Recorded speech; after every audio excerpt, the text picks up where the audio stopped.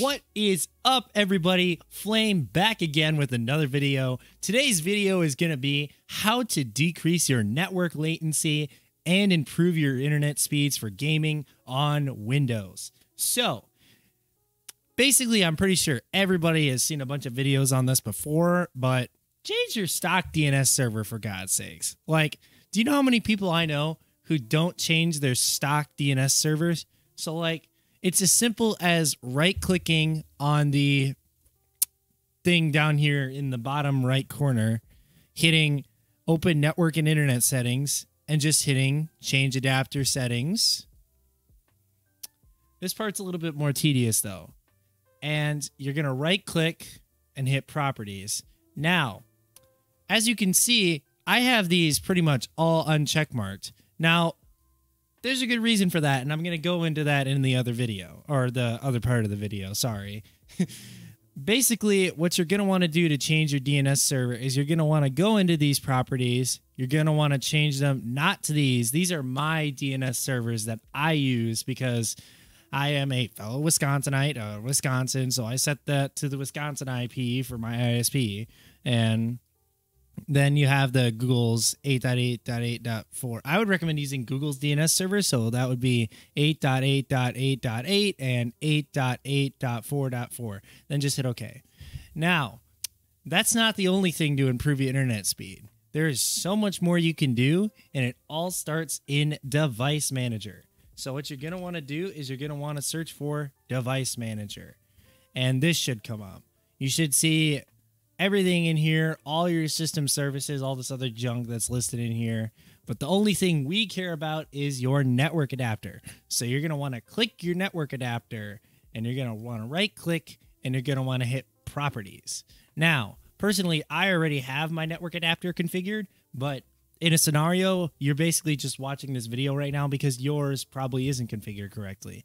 So, first things first, I like to shut off power management because this isn't a laptop. You don't need to save power, so just turn that off. Number two is tweaking the advanced settings. Now, if you you most likely have an Intel controller like me on your uh, Ethernet driver or whatever, then you can just tweak these settings as is. Now, just a fair warning, okay? You need a fairly beefy PC to have the settings I have. But um, if you have anything less than four cores and eight threads, then it's most likely going to slow your system down. So if you're watching this video and you have less than four cores and four threads, which is, uh, by the way, how to check that is you just hit Task Manager and you click CPU and you just hit Change Graph to Logical Processors. I have eight cores and 16 threads, but if you see a four here and a four here, that is not good. You want either number one have to upgrade, or number two, you have to tweak it a little bit less than what I have. Or otherwise, you're going to have some serious lag issues. All right, so we're going to start with the high end tweaks. So this is for everybody who has a high end PC like me. So if you have this thing here, ARP offload, we are going to set that to disabled. Enable PME, set that to disabled. Energy efficient Ethernet. Again, not a laptop. Set this to off. Flow control. Set that to disabled. Now, gigabit sla- slave master mode. Uh, you should just leave that on auto detect. But I know for a fact that I can force my controller to be a master and and a slave. Basically, what that means is my computer is controlling all the network settings and not my router. So it's not changing whenever I reboot the machine. That's what force master mode does. Interrupt interrupt moderation. Uh, you should have this enabled if you have a lower end computer and you have a lot of packet loss. Say if you're using a Wi-Fi adapter or something like that. The rate, all right. So basically, you can set it to off if you have anything that has six cores or better. Like for example, if you have a Ryzen 5 2600 or an Intel i5 10900K or something like that, or a 10600K, I, I don't remember the naming scheme, you could just leave this on off. But if you're on a lower end laptop or a lower end desktop, you should set this to adaptive. That way, you won't lose any packets, or at least not many, if you have a laptop. It just basically what this is telling it to is to just offload some of the packets to your router instead of offloading them to your CPU. And that really hammers your CPU, by the way. Packets, like if you have this off, it hammers your CPU with constant information on the internet. So, all right, so IPv4 checksum offload. Now, this one is a little bit controversial. So, I like to set this to disabled, but if you have a lower end computer, again, I would recommend just not touching this or leaving it on RX and TX enabled. That way, your computer is offloading information more to the router than to your PC, which means it puts less of a strain on your PC. Again, I have a really high end PC, so there's no need to worry about that. Jumbo packet, we can just disable that. You don't need that.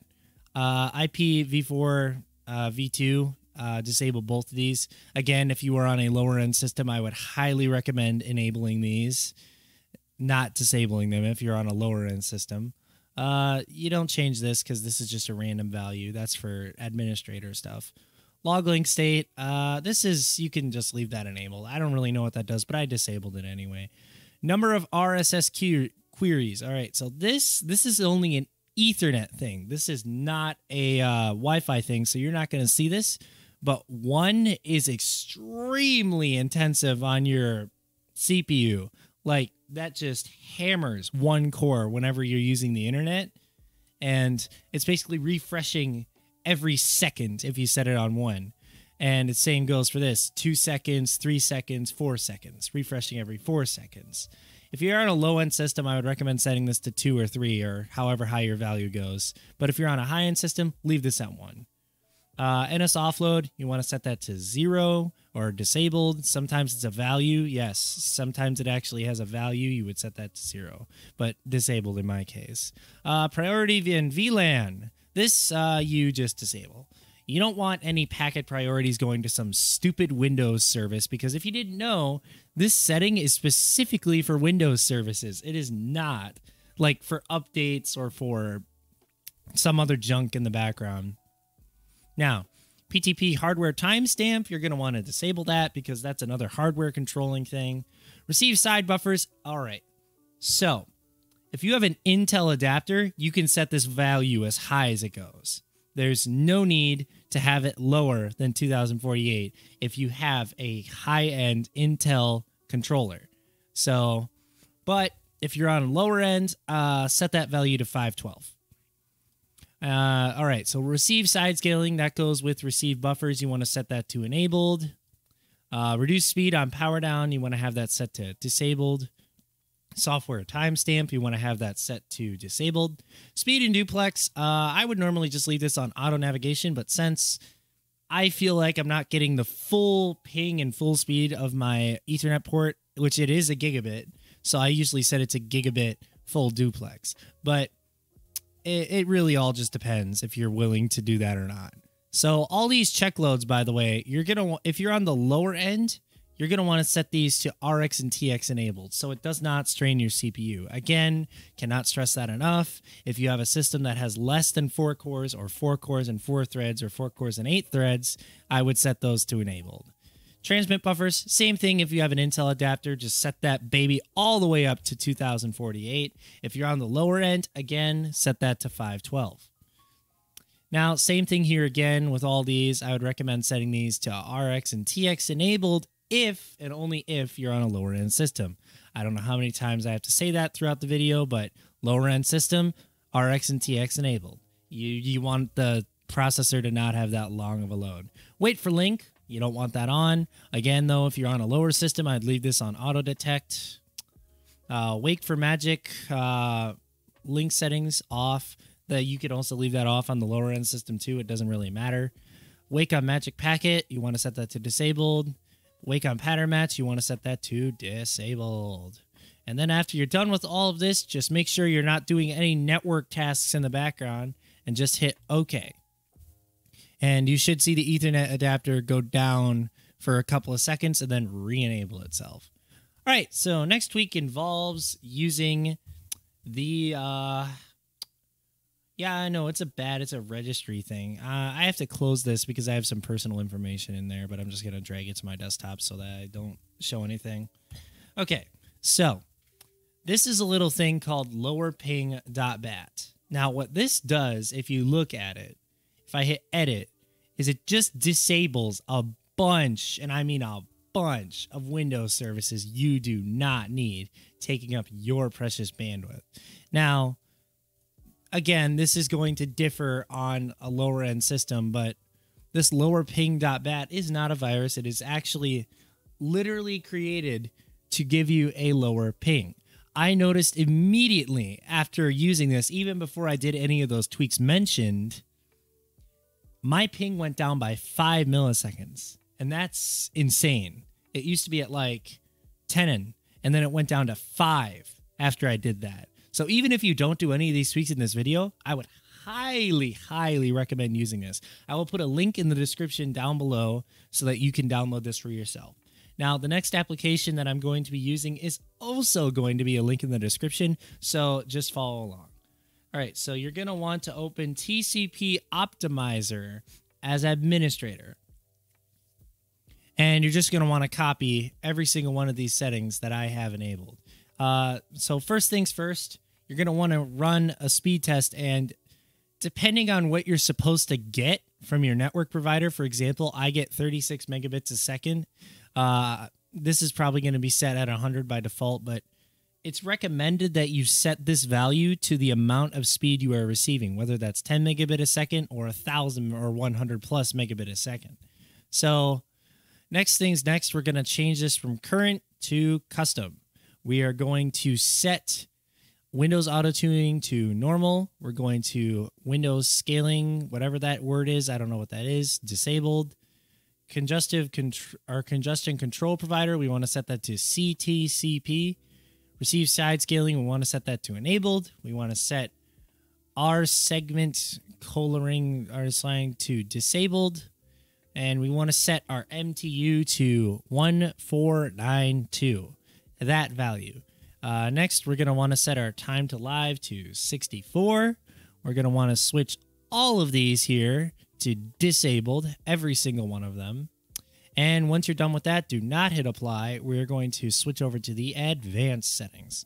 So next thing you're going to want to do here is you're going to want to set the max connections to 10 each and host host wow did i really just say horse oh man host resolution priority you're going to want to set this to four five six seven uh, this value down here, I like to set this to 2 and disabled just because it doesn't really make a difference. Um, timeout or RTO, you're going to want to set that to 2000 as the initial, and minimum, you're going to want to set that to 300. Now, even if you're not a gamer or gaming in general, this can really improve your internet and make it super snappy on your system. So you're going to want to set QoS non best effort limit to zero. You're going to want to set do not use NLA to optimal. You're going to want to go down to gaming tweak, network throttling index, and you're going to want to set that to disabled FFFFFF. And system responsiveness, you're going to want to set that to gaming zero. And gaming tweaks, you're going to want to set uh, TCP ARC frequency to disabled you're going to want to set TCP no delay to enabled. You want to set TCP del ticks to zero or disabled. Network memory allocation, you're just going to want to leave this at default. And you're also going to want to leave this at default. You don't want to switch those, those are kind of important. Uh, dynamic port allocation, you're going to want to have to set this to uh, 65534 as max port and TCP timed wait delay, you're going to want to set that to 32. All right, so once you're done with all of that, you're just going to hit apply changes. Now, I have already applied changes, but once you hit apply changes, it'll apply your changes and then it'll ask you to restart, but you're going to want to hit no. You're not going to want to restart because we're still going to be doing things. So, another big thing that I recommend everybody do is to just make sure that any game updaters or anything like that are not running at startup. So, like for example, here, I have uh, pretty much everything disabled for startup except for uh, Vanguard because I play Valorant. Um, any services in here that relate to a game launcher, so like Steam or uh, or Epic or whatever the other one is. I forget what most of those game launchers do, but you want to disable all those. Next thing we're going to want to do is we're just going to want to head down to system configuration and you're going to want to open that and you're going to want to go to services. Now, this is a little bit scary, all right? I know all this list here looks really scary. You don't want to use any of that. But look, the list gets less scary if you hit hide all Microsoft services. And basically, you're just going to want to look for every service in here that relates to an update service for a game service. So, like, for example, BattlEye, Easy Anti Cheats, uh, Google Update services. You're going to want to just disable those at startup. Uh, Steam, you kind of have to keep Steam enabled, I figured out, or otherwise it actually doesn't let you log into Steam for some reason. But basically, any launchers in here that you don't need, you can just disable, hit apply, and then hit OK. So after you've done all of that, you can restart and we can start our speed test. So for example, I have speed test downloaded on my PC locally for a good reason and a good reason only so that it doesn't show my IP. You're just going to want to hit start and you're going to want to see what you're getting by default.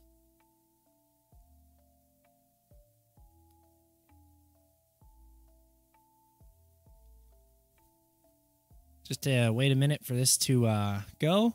Now, my upload's a bit slow, granted. That's just how it normally is. You don't really see high upload when you're using cable. But my ping is uh, pretty damn low, considering the fact that it used to be much, much, much worse before. Uh, yeah, if you're trying to figure out where I live, that is not where I live. That is my ISP that is several miles away from me. That is not where I live. Eh, I'll probably just gray that out in the video anyway. So thank you for watching. If any of these helped you in the just tell me in the comments. I'm having a little bit of a trouble speaking today, but personally if it didn't help you, you can just go back in the videos and you can just go ahead and, you know, tweak things around and set them back to normal or whatever. Anywho, thanks for watching, and I really appreciate you watching this video. Like and subscribe. I make some more videos on this kind of stuff, and it actually has helped a lot of people in the comments, as I've heard.